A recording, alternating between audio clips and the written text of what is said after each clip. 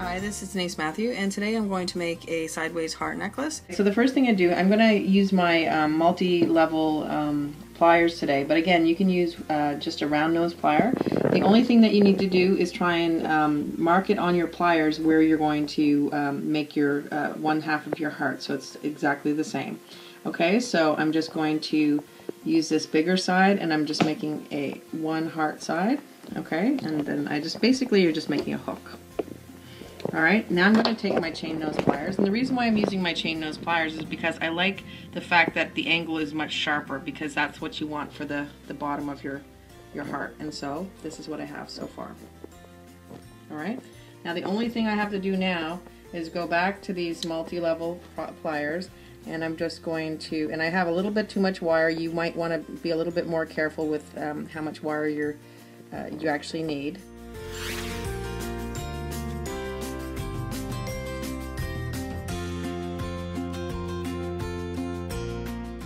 So I'm just making another circle.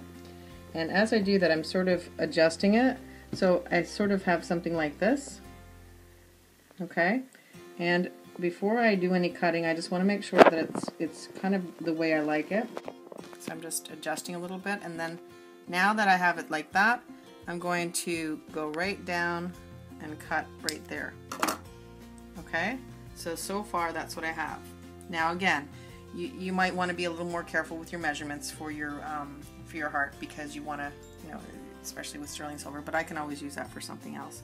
Okay so now that I have it like that I'm just going to bring these closer together these two points okay? So they're a little bit overlapping okay? So this is what I have so far. Now that I have these ends a little bit overlapped okay just a little bit I'm going to take the hammer and just hammer a little bit there. And all I'm trying to do is make sure that these are as close as possible to one another so that when I put the solder, it will stick together. Because if there's any separation in your wires, you're going to have issues with your solder. So just push it in a little bit. I'm going to, I'm adding some solder. Uh, it's a solder paste. Alright, just a little bit and fire it.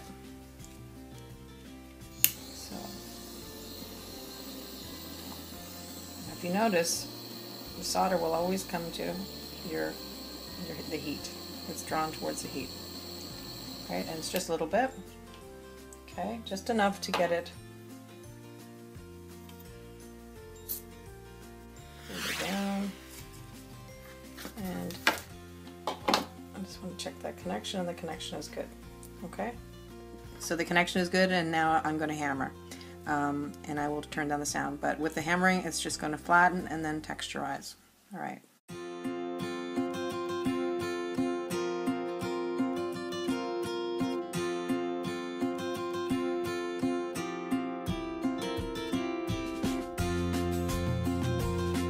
At this point you can finish the necklace and there's two ways to finish it. One is just to put your jump ring on like that and then you would just attach it to your your chain. and you're going to you're going to do it on the side and then here.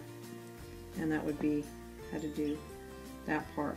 Uh, the one trick to make your heart stay sideways is make sure that your jump rings are as small as possible that you can use that will still go around the heart and make them as tight as possible and that will keep your heart in, in place.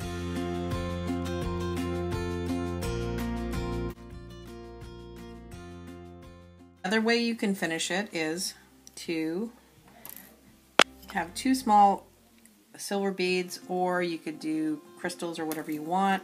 And then I'm just going then just do a closed loop wrap like this and just do your regular wrap.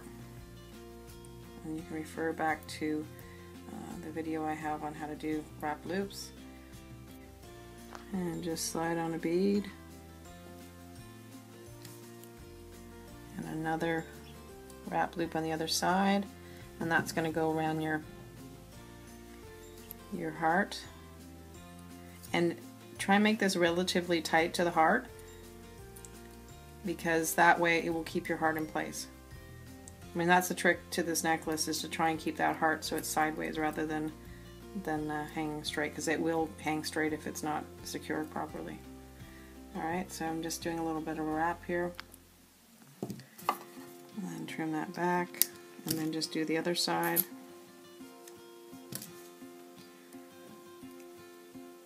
And you can use as much or as little chain as you like according to what you want, but just take into consideration how big your heart is. And this is a bigger heart, but you can use, you could always make it much smaller than the, this for a more delicate look. It's whatever, whatever you really want to do with it. It's very versatile. I put my next bead on and then just do another wrap loop on the other side, catch it up in the top of the heart.